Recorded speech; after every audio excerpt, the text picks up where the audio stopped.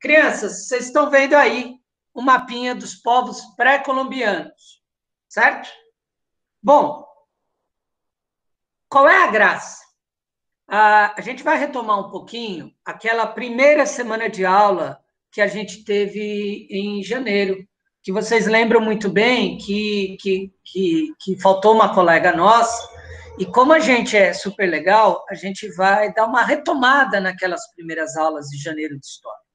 Porque qual é a graça daquelas primeiras aulas de janeiro? A gente discutiu o papel do descobridor, o cara, o herói português, a gente discutiu Camões, né? a gente viu o europeu chegando no novo mundo.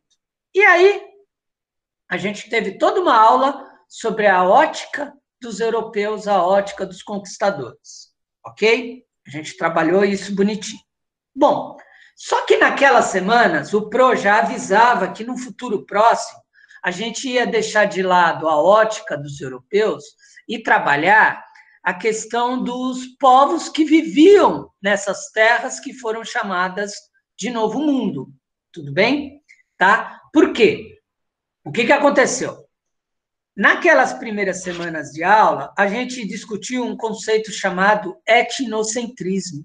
E esse conceito chamado etnocentrismo dizia que os europeus, ao chegarem nessas terras, eles estavam descobrindo novas terras e a partir daquele momento as histórias desses povos estavam começando.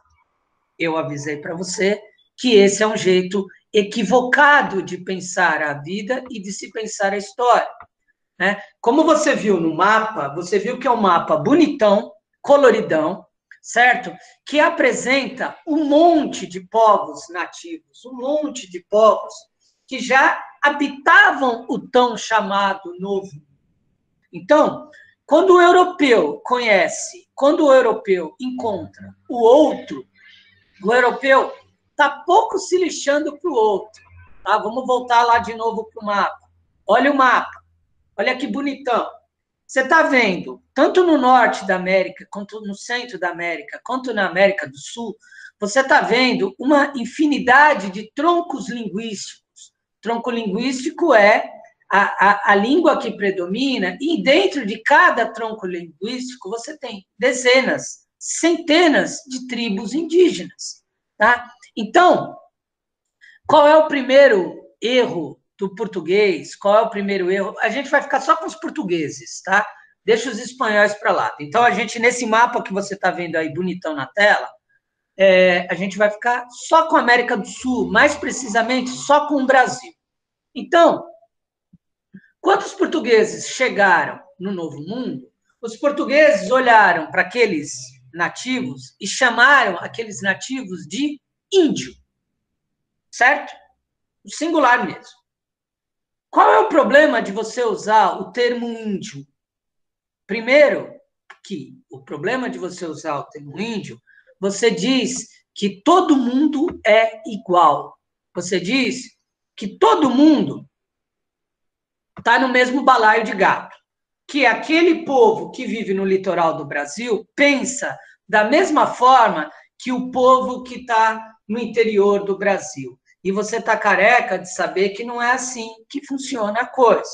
Tá? Então, é importante quando você analisa um mapa, tá? E, e, e, e esse videozinho, o mapa vai estar disponível para você, para você pegar a cópia do mapa, desenhar no seu caderno, para você perceber que eu tenho uma infinidade, uma quantidade gigantesca de pessoas vivendo na América do Sul, tá? Então, enquanto você analisa, ó, vai lá para o canto esquerdo do mapa, a primeira coisa que é clara sobre o Brasil é a diversidade cultural, certo? Você não tem índio, você tem índios. E, na verdade, o mais legal disso tudo é você nem usar o termo índios, é você usar o termo povos nativos. Tá? Por quê? Porque a palavra índio, ela é um termo que foi cunhado pelos europeus. E é um termo que, ó, vai lá no canto esquerdo de novo do mapa que está ali com a canetinha cor-de-rosa. É um termo que vai a, perpassar o ideário etnocêntrico do europeu, que é a ideia da escravidão, que é a ideia da catequização, tá? Então, você vai ter nesse momento, o, os povos nativos vão ter duas opções: aceitar o Deus cristão, eles são obrigados, ou entrar em guerra com o povo invasor, que é o povo português, que é o que a gente vai falar nas próximas aulas. E você sabe melhor do que eu que isso não vai acabar bem, tá? E como é que você tem certeza que isso não vai acabar bem nessa nossa primeira aula, nessa nossa introdução? Se você olhar na tabelinha da direita, dá uma olhada ali, ó, populações indígenas no Brasil. Tá vendo aí? Bom, na tabelinha da direita, em 1500, eu estou chutando o número para baixo, tá? Dizia-se que havia no Brasil cerca de 5 milhões de pessoas. Essas 5 milhões de pessoas, elas estão divididas em mais ou menos mil tribos.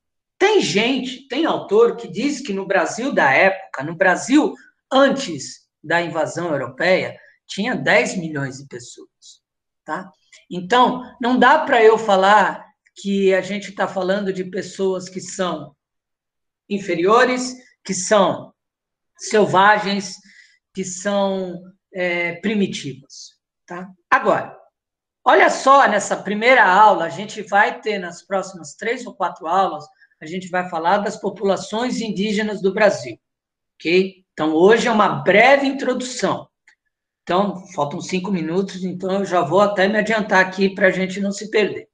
Se você continuar na tabelinha do canto direito, você vai ver que de 5 milhões de pessoas, em 1980, portanto, quatro séculos depois, a gente caiu o número para 200 mil pessoas, 200 mil descendentes de índios, 200 mil povos que representam os povos nativos.